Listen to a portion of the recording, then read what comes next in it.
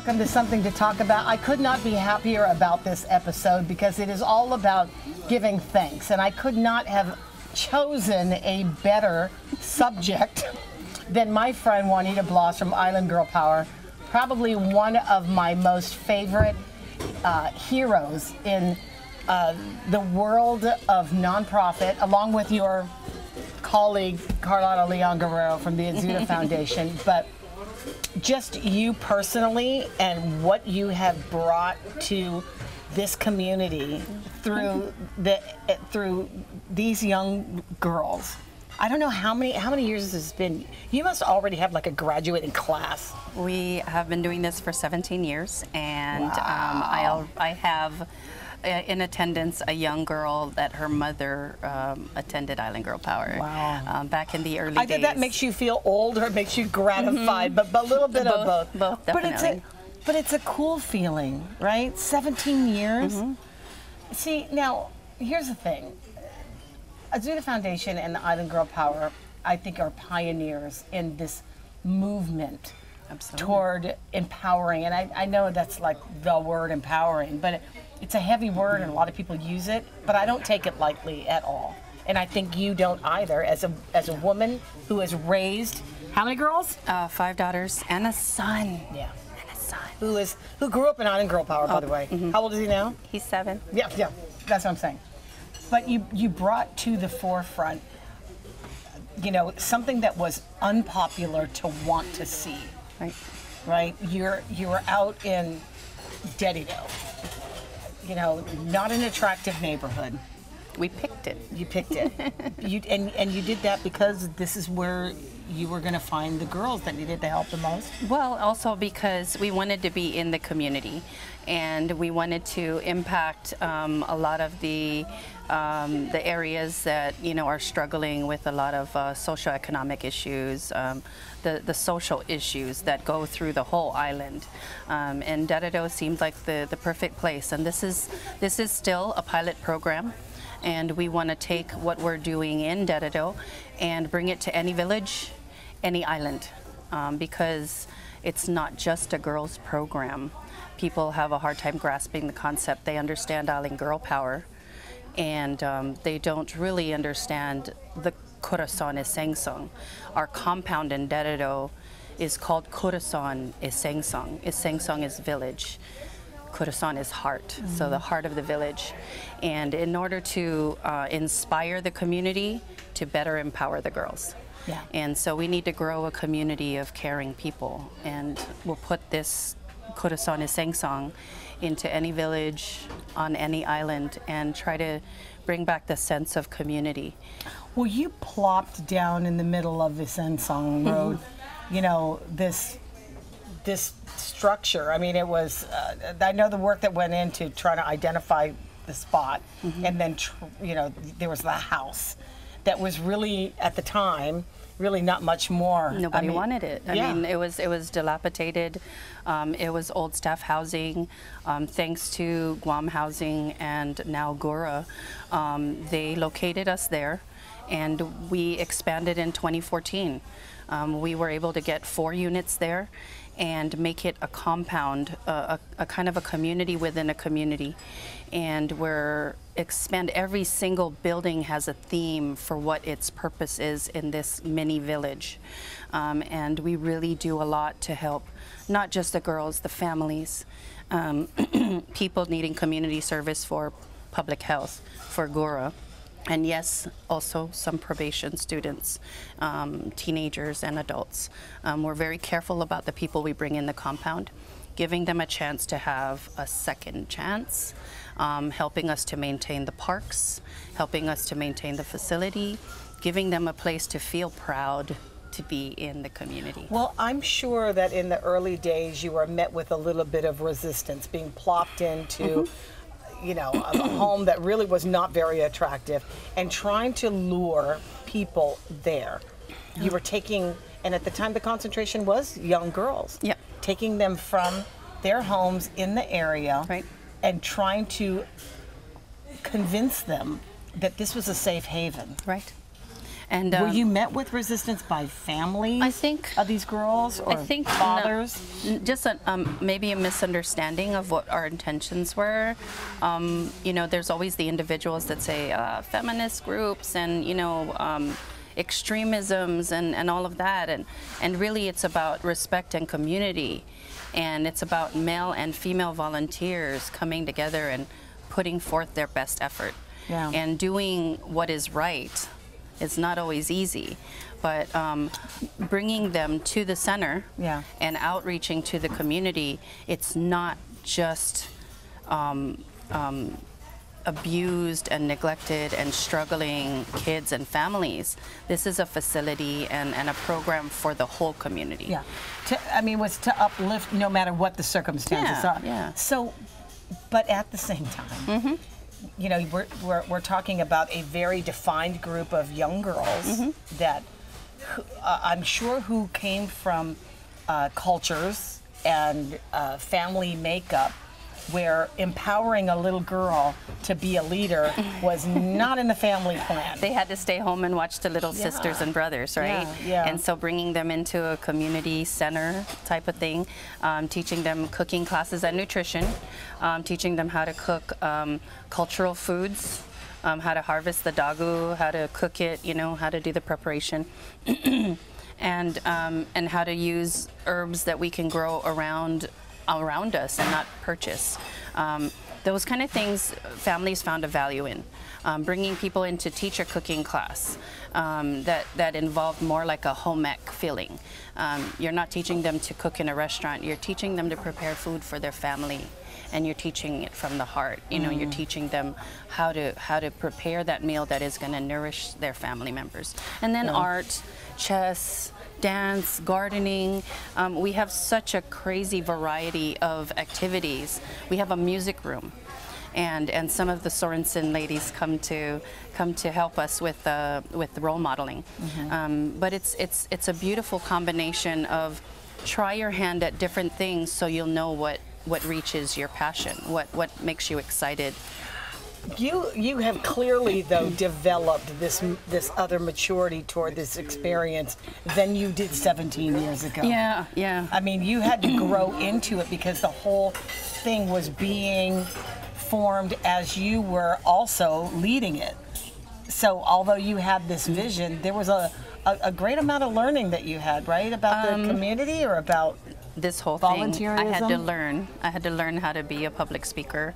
Um, I had to learn how to not be in the background and to put myself forward so that people know who run who are, who's running the program, and also to be able to um, define how these these activities will help the girls to develop their self-esteem and confidence, um, but also to teach them how to be advocates, to teach them how to be change makers. We need them to be change makers. The community needs this this boost of of positivity, um, and and we've been developing it. You know. Who who along the way because we this is a this is a show about thankfulness. Oh my goodness. And you've had 17 years of success. I mean, it took a long time to get to where you are, but I'm pretty sure that there are so many people.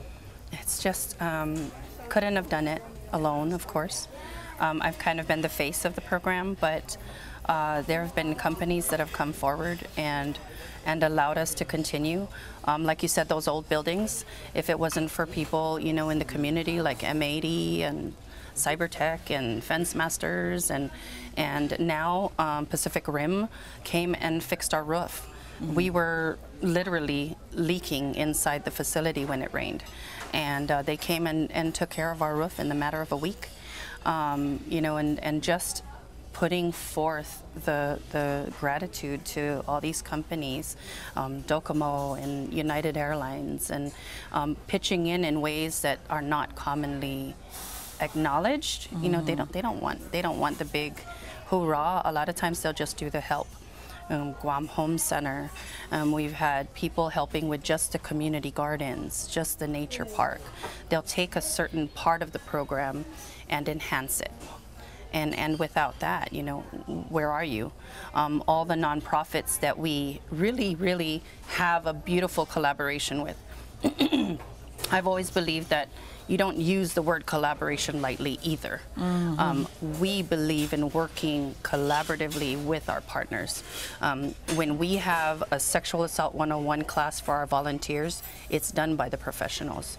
It's done by Vero, by Healing Hearts, by the You get everybody, office. all the expertise right. to, to do this. and we are trained all of our managers all of the um, the core staff um, and I say that lightly now because we're all volunteers again. Yeah, Um, so they're all assist and safe talk trained. So they are suicide prevention and interventionist. There's a lot. There's a lot going on, and there's a lot to be thankful for. When we come back after this break, a big to do Oh, coming yes. up to celebrate those who have been behind Island Girl Power. We'll talk to uh, Juanita Bloss with more Island Girl Power thank yous after this.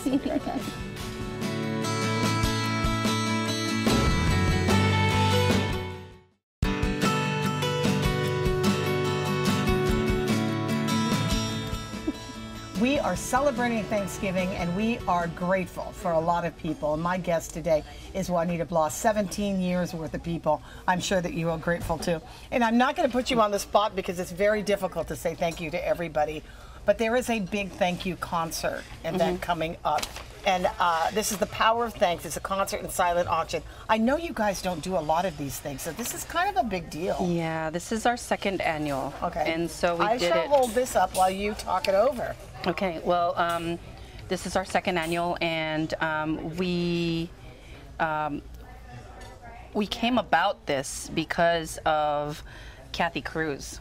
Um, One Music Guam. She wanted to find a way to contribute, find a way to have musicians in the community give to our our program to, to show to show their appreciation for what we do and a way to fundraise. And so the concert in itself Mm-hmm. is amazing. We have um, headliners, you know, we have uh, the Dolls, we have um, Microchild with the McManus Trio, Mm-hmm. um, we have El Taitagui, and we have a group with uh, cellos. They're called Hello Cello. And then there are more musicians coming on board as, as it gets closer to the event. Um, but just the music alone is, is really, you know, what we started off with. Last year we had our event at Carmen's. I remember that. And it was uh, Rachel Estevez who wrote that great song. The girls um, had written a song, and um, Just Be You and Power 98 featured it. You know, and so we were very happy with the with the group that did that. Um, we had a silent auction in the background, and it was really amazing things. Um, but this year we have this uh, sizable contribution and and a lot of items that we've set aside. Uh, and the silent auction is is is almost overpowering. Um, we have collections of silver. Um, crystal um, silver and china and Wow. um, vintage jewelry that we're just uncovering from this donation. Um, we have historical documents, Hoffaday magazines from the Oh my gosh. 1960s Wow. from the 1960s, and there's a Palau Festival of the Arts uh, booklet, you know, from the 1960s as well. We have cloisonne, you know, Okay. and um, camera sets, 35 millimeter camera sets, and um, this here is an piece of art from Lisa Nicholas. Okay. Um, it's it's very large. It's like a three by 6 Mm-hmm. um, and it was painted for Island Girl Power. It was painted for us to fundraise, and um, that's being auctioned off as well. I'm, con- I'm, I think this is cool. You have a larger picture of it. Check this out. Look, check this out. You got to tell the story about that one. Okay, This is so this is donated by the uh, Guam Contractors Association Trades Academy, and um, they had house. constructed a mini house. So you know those tiny home specials? Um, any child would be overwhelmed So by the awesome, house. yeah. Um, you can fit a cot in there. I checked. You know, Yeah, yeah, yeah. we're- local sizing. Okay. Okay, okay. So um, you could uh, uh, use it for a playhouse. Um, you can have it as a mini house. It's eight by eight by nine feet tall with fiberglass roof Oh shingles gosh. on it and treated wood base. You could actually fit like a bed in there. And- a and, small um, bed or something. He right? uh, in Trades Academy, they told me that this is all typhoon proofed. Really? And so it's reinforced and angle I irons. want that. I can stand up in there. That could be my backyard so this house. this yeah. alone is retail valued at ten thousand dollars. Wow. and um, we're doing the silent auction at half the retail Okay. minimum bid. Okay. Yeah, so we really, really, really want to say thank you to the Trades Academy because um, it'll give us a chance to, to fundraise some substantial funds for the program. That's really awesome. And this is a, like one of the bigger prizes. This is the big This grand is prize. probably um, probably the, the most sizable. Yeah, Yeah. I mean you know sizable. no kidding. sorry. but you're just going to have this. The, the, house is We'll have actually going to be up there. We'll Oh. have a photo, and um, we'll take care of transporting it to the the Whoever winners. the winners, home. yeah, okay. Yeah. So the event is on Sunday, mm-hmm. November 20, 25th. 5th. Okay. The Sunday after Thanksgiving. So Okay.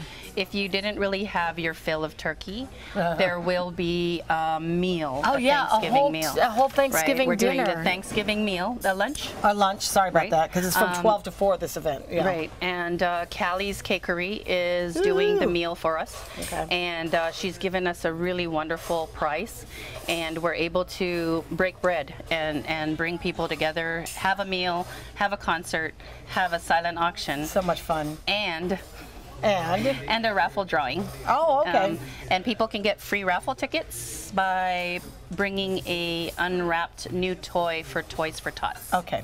Well, you're just mixing everything in there. Mine as well. Uh, it is it is a it is a charitable organization trying to give back to other charitable organizations. Yeah, and um, well, I like to feature the the raffle drawing. We're going to be raffling off our our plants from the center for uh, gift certificates and jewelry.